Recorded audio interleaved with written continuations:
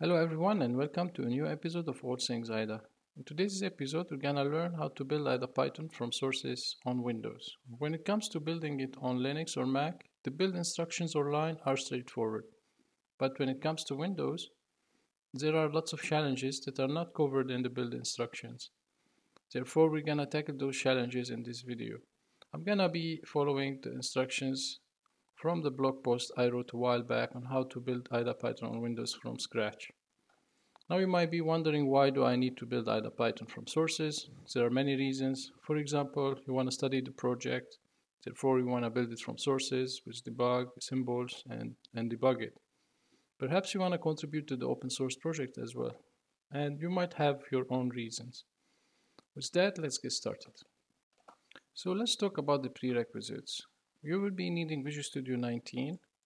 The community edition works as well. So one thing I would like to mention is once you get it from, from the link here, make sure you install it in the default location. Otherwise, we'll have to go to the SDK folder and tweak the the MK file and whatever other make files we need in order to update it and point to a non-standard installation location. You don't want to do that it can be challenging. You have to go and update certain locations correctly, SDK location, and so on and so on. I tried that, it's not very user friendly, so let's not waste time on that. Just simply install Visual Studio 19 to the default location. So that's the first prerequisite. After you have Visual Studio 19 installed, the next step is to install Cygwin 64. Now you might be wondering why do we need to install Cygwin? Just because the IDA SDK build system and IDA Python relies on the make utility, which is not something native in Windows. Therefore, we'll have to get the Cygwin and then make sure we install the proper packages. You don't need to install everything, you just need to search for the make and install make and install unzip. Once you install that, you're good to go for the Cygwin requirements. The next step is to get Python 3.x. Now you might have already Python 3.x installed, but you have to make sure that there are some optional features installed. So if you don't have that, you can still run the installer and make sure you check the boxes that are required. So what we need, we need when we're installing, we need PIP. And on the next screen, we need to have at least some of the developer features that we want. So for example, download debugging symbols, precompile standard libraries and also download debug binaries that will bring in Python debug DLLs and so on. So these are what you required and also make sure you install it in the C drive. So that's very important as well. Otherwise we'll have to go and also change the stuff in the make file. And again, we're trying to avoid that. After you've installed Python, just to avoid some headache down the line as we proceed in the steps, make sure that you have the package 6 or the module 6 installed. So go to the, if you have multiple Python installations, just go to the Python folder that we want to build IDA Python for, in this case say 311, and run pip if it's not in your path, just install the 6 module. I have it installed, nothing will happen, but uh, simply install it. Next, we require Swig. Swig is, as it says here, it's a simplified wrapper and interface generator. I've spoken about Swig many times in various videos and in particular in the introduction and internals of IDA Python video. It's not enough for us to go to the download page and grab a Windows binary for Swig. We might run into issues because IDA Python requires a patch version of Swig, so we'll have to build it from scratch. It is very challenging to build it, build Swig from scratch with the patches on Windows. Instead, we're gonna use either a Linux distribution, let's say Ubuntu 20 for example, or WSL on Windows. And that's what I'm gonna be doing. Now the steps will work equally whether you're using WSL or Ubuntu. So I'm gonna be installing and using WSL. For WSL, is really one of the nicest things that Windows 10 introduced. So if you don't have WSL installed, simply go to your app and features, optional features, scroll down all the way down here, more Windows features. Takes you to this old dialog if you're used to this dialog instead of the newer modern UI. And here what you want really is to check that box, Windows subsystem for Linux. We're not gonna waste time on installing it, just a quick pointer, there's so many tutorials for that. Once you've installed it, you simply open your terminal and open an Ubuntu terminal. Now, if you have a VM, for example, running actual Ubuntu, that will, as I said, work equally. Now, the reason we need Ubuntu or something equivalent is because we're gonna be cross-compiling Swig under a Linux environment and generate a Windows binary. And so once you are in a Linux terminal, make sure you have updated everything and then install the following packages. So we'll need a bunch, build essentials, Ming, MinGW64, so this is used for the cross building.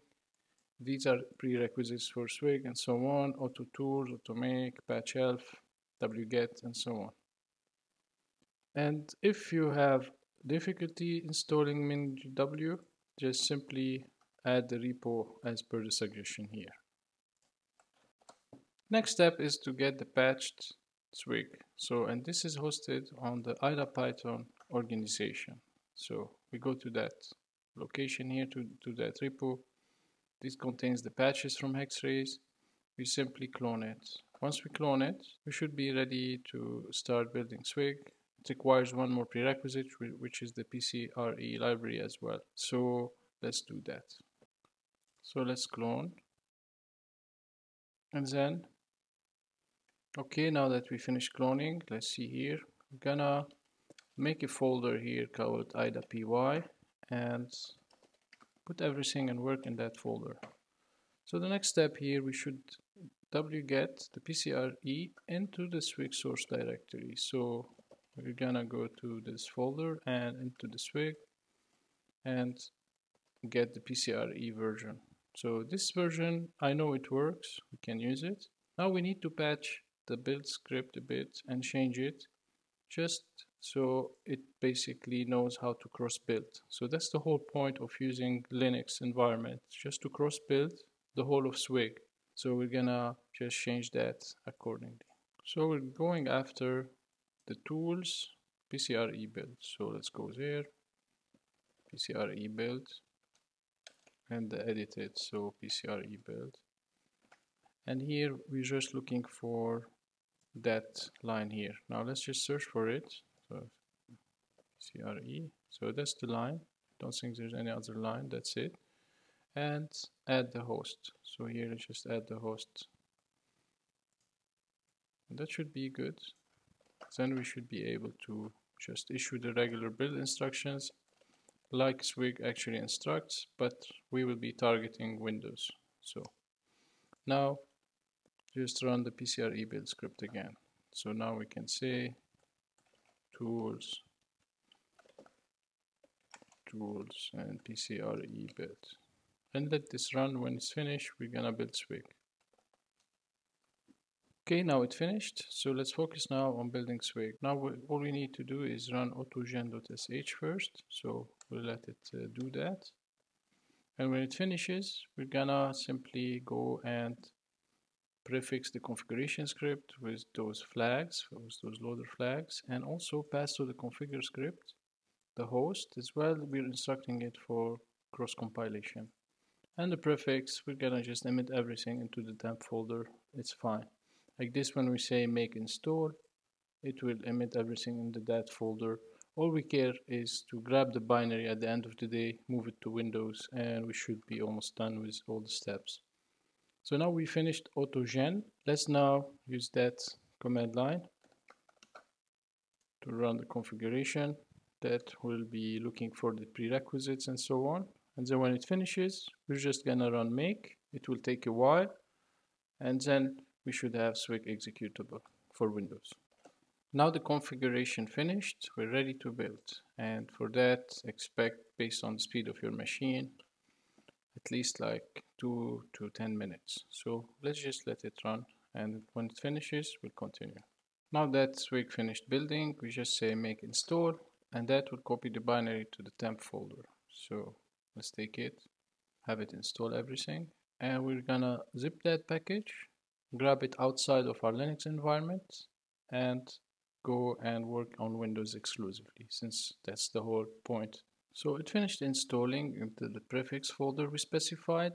Now let's go to depending really on what environment you're using since I'm under WSL so I have to go to the mount folder like that go to temp for example and transfer it to the Windows file system. I'm gonna make a folder here called swig for example and then copy everything in the temp swig 4 into the current location. When it's done we should have everything in the Windows file system. So C temp swig and we have the swig win here bin and this is what we need.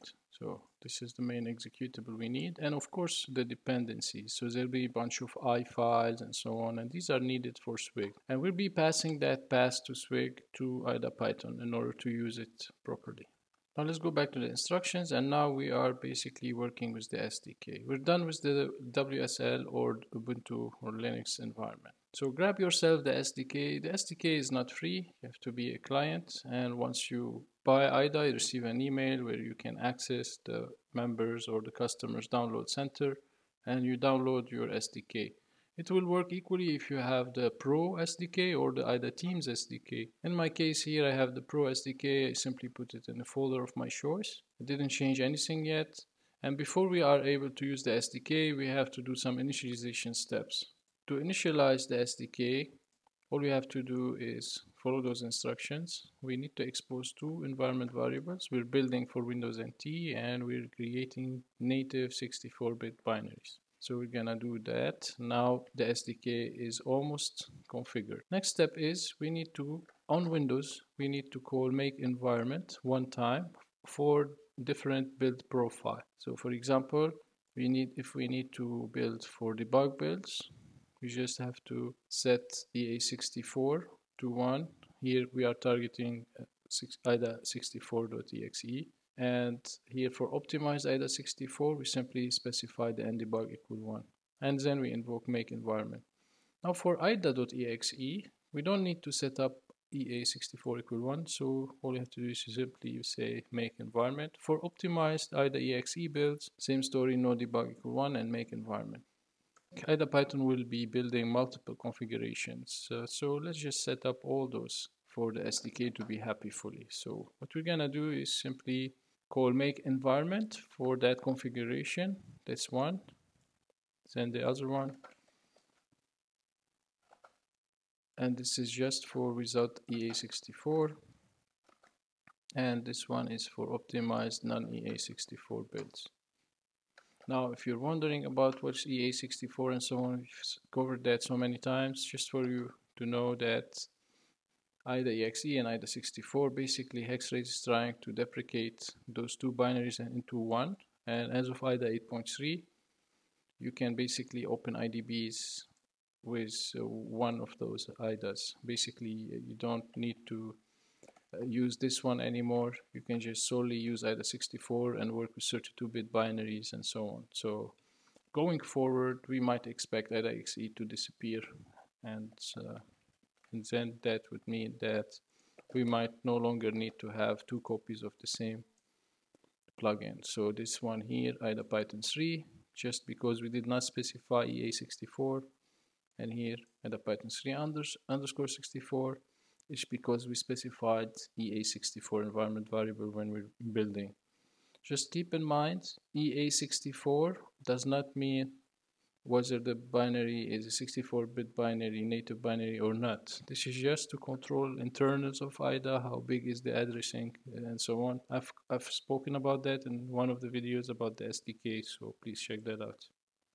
If you've done everything correctly, you should be able to build anything in the SDK. We're not talking about IDA Python anymore, so you can build anything. So let's say if we go to the plugins folder and say hello, for example, this one has a make file so if we just simply say make, now depending on the environment variables we set, so I did not specify ndebug or EA64 under this environment. So what do we have here? We have just x64 and nt. These are the relevant ones. That means if I build, we're gonna be building for ida.exe. So just calling make here.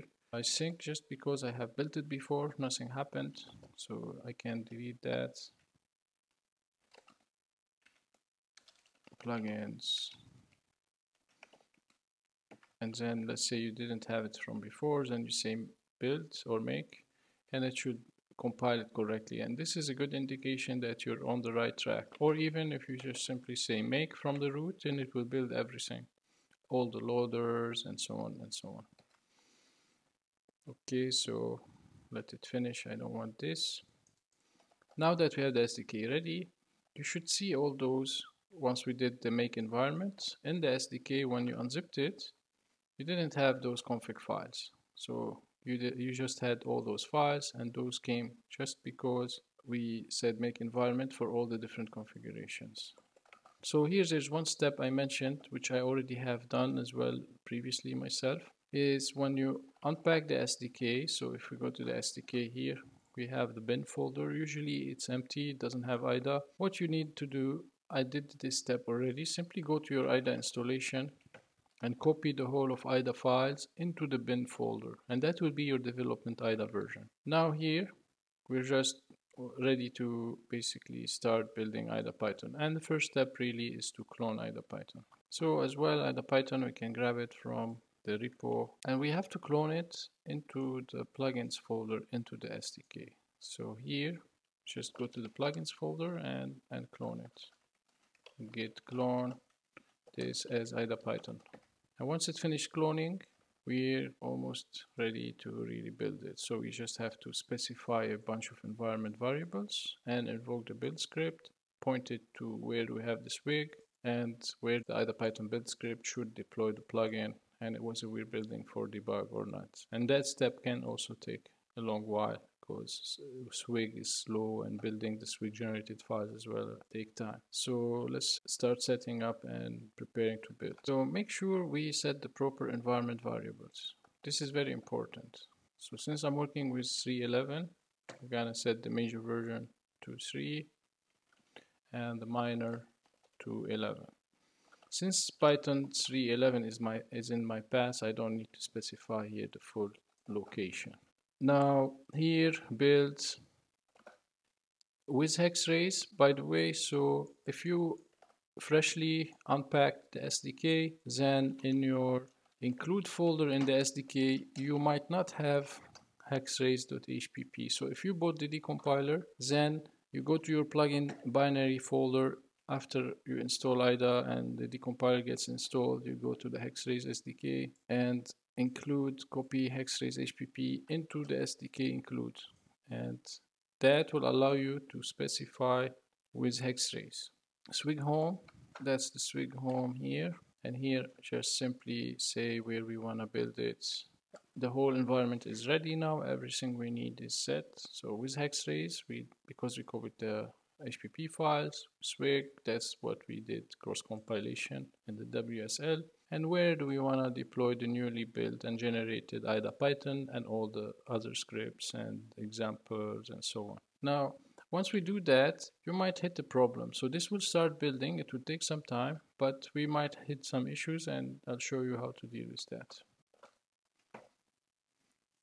So here, as you can see, it started to build, but there's a high chance that it might stop working at one point. So here we are as I said, you might hit the problem. I did hit that problem. One of the easiest way is just to disable some build target into the make file. So let me show you what you need to edit in the make file in IDA Python in order to get this working all the way to the end. So to fix the situation, go back to IDA Python sources, open the make file, and here in just around line 22, we have the targets that are being built. I had to disable a bunch of other things so here I had to disable pydoc injections, public tree, test IDC docs and docs and kept those. And this worked for me at the time of recording. So you might, might have to tweak this and run the build command line again. So here Python and this should continue and hopefully at the end you will see IDA Python generated and copied and deployed properly into the path we specified. So here when we say IDA install we did specify deploy it into the SDK copy of IDA binaries. And this will take up to 10 minutes, but that's it basically. So let's let it finish and see what happened. Okay, it finished building I had to go back and forth a few times and but once you disable certain targets the build will succeed. Now let's take a look what has been generated freshly. So now we can go to the bin folder plugins and here look at this we have newly built things so these are sorted by date. These are freshly built. These are just built artifacts and so on but this is the python dll 64 and also it made a copy as well of the scripts and examples and so on. So that's completely built from scratch. All right that's it then. We successfully built IDA Python from sources Going forward, I really encourage you to contribute to the open source IDA Python project and I'll see you next time. Thank you.